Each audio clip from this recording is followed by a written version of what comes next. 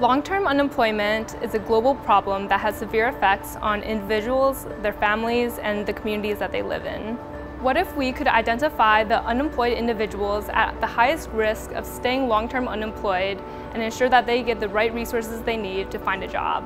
Together with the municipality of Cascais, we are working to understand who is at the highest risk of becoming long-term unemployed using demographic and historical employment data. With this knowledge, we can in advance allocate the right resources to them so that they have the support they need to fight unemployment early on. Data science for social good. Together, we're making this happen.